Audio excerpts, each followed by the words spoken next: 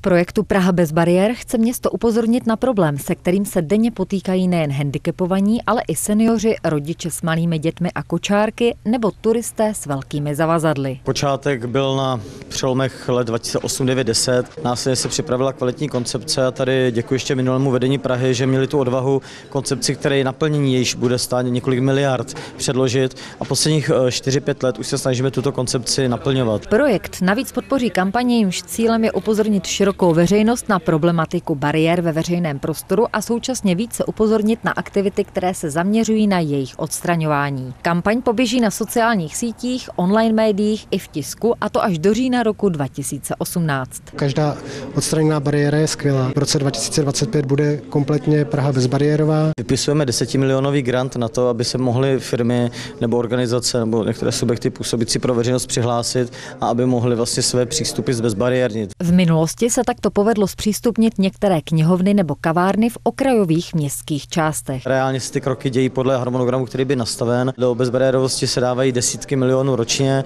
ale samozřejmě kromě té přímé, co člověk vidí, je to třeba, jsou to investice do nákupu nového vozového parku dopravního podniku a jsou to další dílčí věci, které už vlastně ve stovkách milionů tam byly dány, aby Praha byla více bezbariérová. V minulosti se například bezbariérově zpřístupnily tramvajové zastávky Olšanská, Chodovská a Uplinárny a pokrok je i v metru. Už je zpřístupněný třeba můstek, že se dá přestoupit z jedné trasy na druhou bezbariérově. To je prostě velká věc. Anděl, IB Pavlova, to byly vlastně stanice, kde, které mají nejfrekventovanější provoz. V letošním roce se začíná dělat bezbariérovost na Karlově náměstí, to je velmi důležité, to jsou ty velké investice. A pak jsou desítky drobných, třeba na tramvových tratích, ty ostrovky se dělají také bezbariérové. V letošním roce je na projekt Bez bariér vyčleněno téměř 68 milionů korun. Johanka Hubičková, Televize Praha.